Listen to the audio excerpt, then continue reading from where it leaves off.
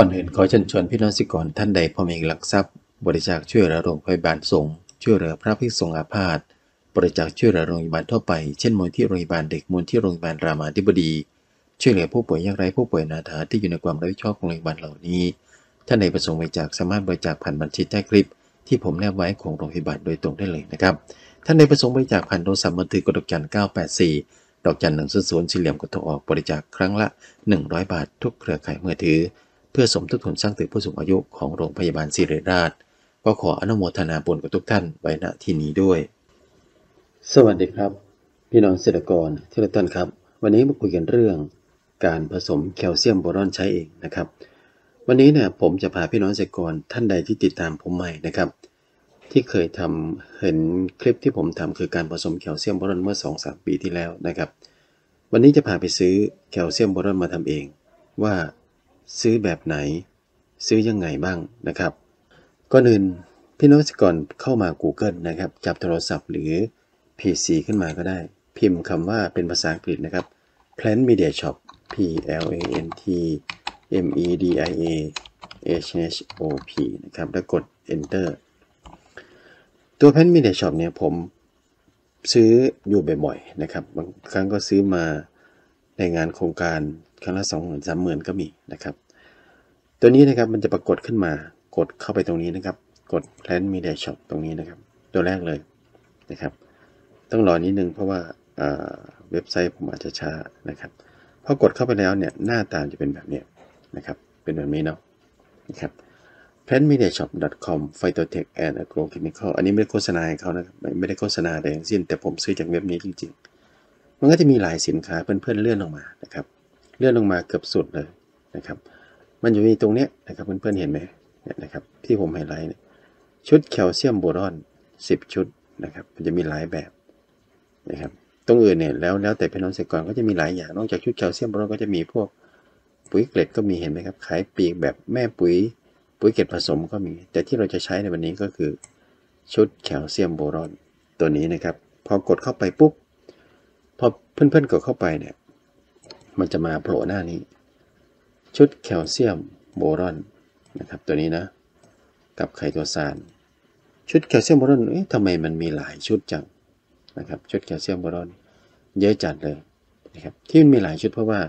ชุดผสมมันมีหลายแบบมันมีหลายราคา มาดูชุดแรกนะครับ ตัวนี้ 440 บาท ชุดนี้จะมีผงแคลเซียมโบรอนผสมเป็นแบบคีเลตสูตร 1 นะครับ ตัวนี้ใช้โบรอนประสิทธิภาพสูง ก็คือทั้งแคลเซียมแล้วก็ตัวโบรอนเนี่ยก็จะมีตัวคีเลตให้มาด้วยนะครับ แล้วก็ตัวสูตรที่ 2 320 บาทตัวนี้นะครับ ตัวนี้เป็นผงแคลเซียมโบรอนคีเลตพลัสสูตร 2 ตัวนี้ใช้โบรอนธรรมดา สูตรตัวแรกเนี่ย ตัวเมื่อกี้เนี่ย สูตรแรกเนี่ยนะครับ ตัวนี้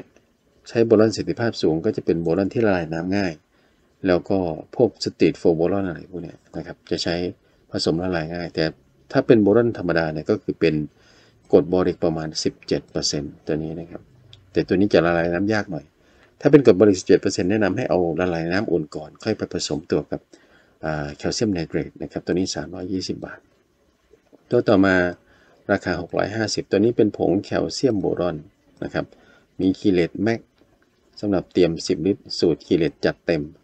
อันนี้เป็นคีเลตทั้งหมดเลยนะครับ ถ้าเป็นคีเลตก็ต้องยอมรับว่ามันแพง พวกโบรอนพวกอะไรพวกนี้พวกแคลเซียมเนี่ยเป็นคีเลต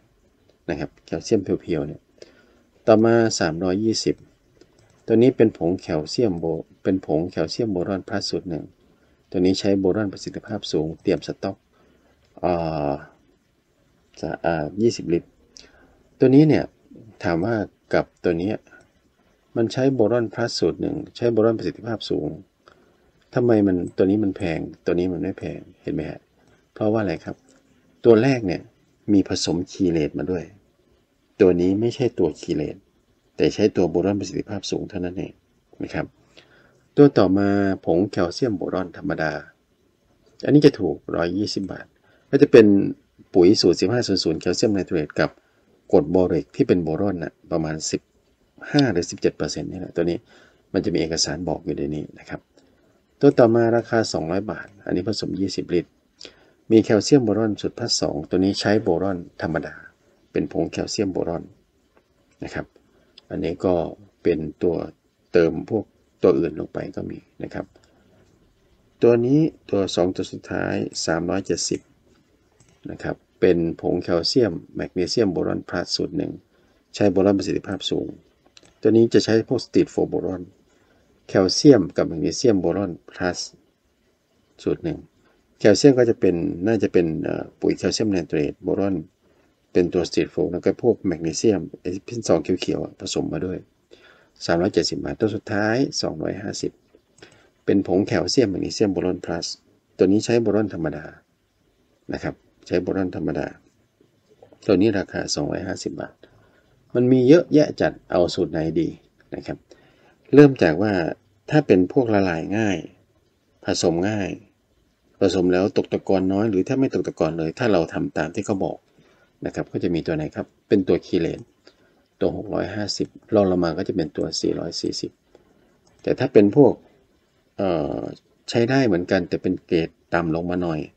ก็จะไล่เรียงตามราคาจาก 320 พวกเนี้ยเป็นเกรดที่ 2 นะครับ สุดท้ายก็จะมา พวกราคา 120 บาท 200พวกนี้เป็นเกรดสุดท้าย พวกนี้ก็ใช้ได้เหมือนกันนะครับ แต่ว่าการผสมเนี่ยจะต้องผสมดีๆ ไม่งั้นมันจะตกตะกอนได้ง่ายนะครับ ถ้าใครมีเงินน้อยก็แนะนำสูตรสักกลางๆเนาะ320 ถ้าใครพอมีเงินก็เน้น 650 440 ถ้ามีเงินจริงๆก็ 650 เพราะว่าตัวนี้มันเป็นตัวพวกคีเลตมันใช้ดีก็ก็ฉีด ก็สมมติว่าถ้าผสม 10 ลิตรเนี่ย ปกติแคลเซียมบอลลอนเราขายตามท้องตลาดเนี่ยประมาณเท่าไหร่ครับ ขวดหนึ่งก็ประมาณ 200 10 ลิตรก็ประมาณ 2,000 อันนี้ 650 ผมว่าก็คุ้มพอสมควรแหละ ใช้เยอะในกรณีที่มันเป็นฟาร์มใหญ่ๆนะนะครับส่วนผลไม้ใหญ่ๆพวกนี้นะครับอันนี้ก็เป็นการเลือกซื้อทั้งนี้ทั้งนั้นก็แล้วแต่พี่น้องสิกรจะตัดสินใจว่าแคลเซียมโบรอนตัวไหนมันเหมาะกับสวนเรานั่นเอง แต่ที่แน่ๆพ่นไปเนี่ยได้แคลเซียมโบรอนแล้วก็พวกออย่างอื่น ที่ติดสูตรต่างๆ ไปแน่นอนนะครับ ตัวนี้ก็จะมีเพิ่มเติมมาชุดผสมไคโตซานสำหรับใช้เอง6ลิตร ปกติไคโตซานลิตรหนึ่งเนี่ยประมาณเท่าไหร่ครับ ตีไว้ประมาณไม่เกิน 200 แล้วกันเนาะนะครับ 200 ถ้าผสมตัวนี้ได้ 6 ลิตร ถ้าคิดลิตรละ2แล้วก็ประมาณพันสตัวนี้ก็ 290 แต่ก่อนมันมัน 190 เองนะครับ แต่ก่อนมัน190แต่ก็ถือว่าเพิ่มขึ้นมาอยู่พอสมควร แต่ก็มันนานแล้วล่ะ190นะนอกจากตัวแคลเซียมบนนั้นก็จะมีพวกปุ๋ยเกล็ดพวกนี้เพื่อนๆเห็นไหมก็จะมีส่วนต่างๆ มาให้8สิบหกสามสิบหกสิบห้าสิบสามสิบห้าหกสามสองสามสองสิบห้าไอสิบสามห้าสี่สิบสองสิบยี่สิบสามสิบอะไรแบบส่วนใหญ่นะครับเวลาเลือกปุ๋ยเกล็ดเราก็จะเลือกตัวหน้าเน้นใบเน้นลำต้นอะไรพวกนี้ถ้าดอกกับใบเน้นตัวกลางตัวท้าย นะครับ เช่นถ้าจะเน้นความหวานก็เน้นตัวท้เช่นสิบห้าสิบสามสิบห้าอะไรพวกนี้แล้วก็ใช้ ก็จะมีถ้าเป็นพวก NPK ธรรมดาแล้วก็จะประมาณหกสิบเจ็ดสิบาทต่อหนึ่งกิโลนะ อันนี้รวมค่าส่ง แต่ถ้าพวกผสมพวกจุลธาตุอะไรเข้าไปด้วยมันก็จะแพงนะครับ แต่ของเวสโก้เนี่ยไม่ไม่ค่อยเห็นนะเพราะว่ามันเขาแต่ก่อนเขาขายปัจจุบันนี้เขาไม่ขายเวสโก้เนี่ย ถ้าสูตรอ่าสิบ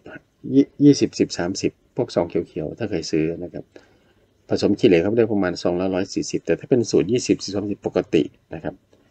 ปกติเจอหรือเปล่าพวกนี้เจอไหมอ่าสามสิบสิบยี่สิบเนี่ย